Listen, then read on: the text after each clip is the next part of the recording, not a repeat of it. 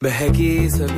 Hello guys welcome to my first blog guys ये मेरा first blog है। इससे पहले भी मैं कई चैनलों पर अपना फ़र्स्ट ब्लॉग डाल चुका हूँ, पर मेरा किसी भी चैनल पर फ़र्स्ट ब्लॉग वायरल नहीं हुआ। और ब्लॉग डालने से पहले भी मैं दो साल से यूट्यूब पर मेहनत कर रहा था, पर आज तक मुझे कामयाबी नहीं मिली। और ये मेरा लास्ट चांस है। इस पर वायरल हो गया तो हो गया। उसके बाद मैं यूट्यूब छोड़ दूँगा। मैं आया था यहाँ रामलीला मैदान है। यहाँ पर आया था मैं।